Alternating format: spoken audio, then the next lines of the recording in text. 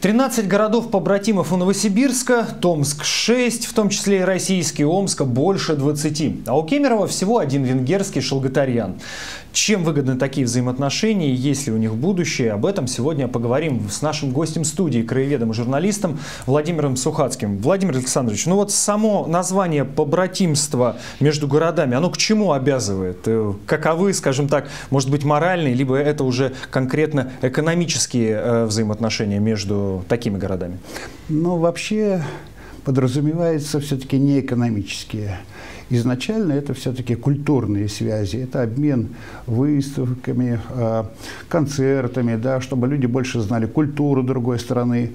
А, экономические, ну, постолько поскольку. Тут нужно отметить, что Кемерово, у нас-то большой опыт побратимства, более 50 лет. Еще в 1966 году э, возникло э, общество дружбы Кузбасска Наградской э, дружбы и сколько уже, да, более 50 лет. А вот города Новосибирск, соседи наши, Томск, Омск, они брататься-то только стали в 90-е годы, ну, 89-й год. Поэтому у нас более богатый опыт, нежели у наших соседей. И нам есть чем и похвалиться, и задуматься – а нужно ли нам это побратимство? Вот в связи с этим сразу вопрос. А действительно, существует ли необходимость э, сегодня вот в таких взаимоотношениях?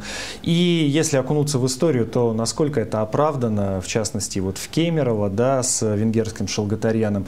И вот у Новосибирска город-побратим – это Ереван. Но насколько это правильно, скажем так? Ну, вообще, если мы посмотрим, э, с кем побратимы наши соседи, это просто-напросто можно удивляться каждому побратимому городу. Ереван. А как вам нравится Новосибирск, по-моему, э, дружит с Тирасполем, Приднестровская республика, да?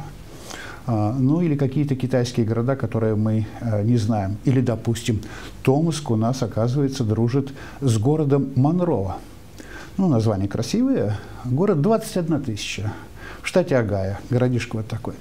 А у нас все-таки мы, Кузбасс, дружим с э, Новгородской областью, Венгрия. Новгородская область – это угольный регион. Но у нас в 1966 году, как мне рассказывали, была такая идея в ЦК партии, э, решили, что нужно как-то нам со странами народной демократии дружить. И сказали Кузбассу, вот, Найдите себе регион, с которым бы вы хотели дружить. А Кузбасс был первым в этом отношении? Одним из первых. Одним из первых. Одним Но Москва, Санкт-Петербург, наверное, все-таки. Ну, безусловно.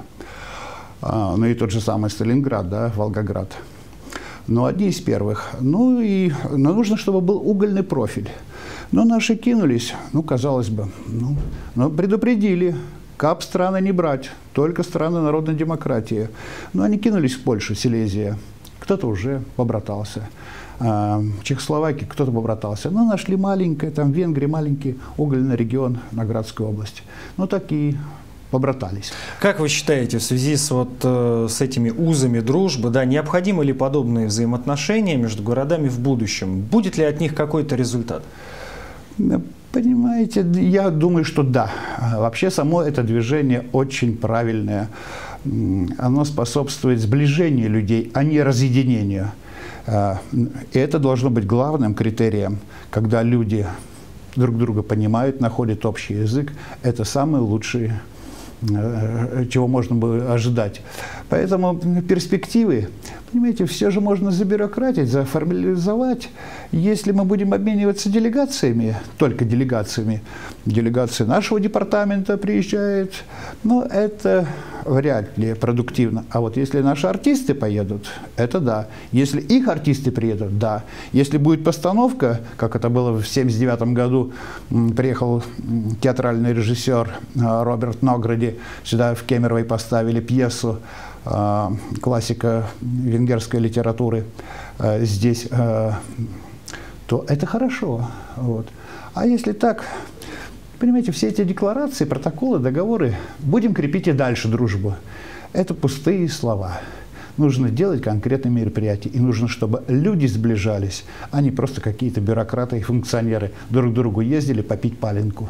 Ну а я напомню, у нас в гостях был Владимир Сухацкий, журналист и краевед, который рассказал о том, вообще необходимо ли восстанавливать движение побратимства между городами, и если оно даже и есть, то нужно ли оно в принципе.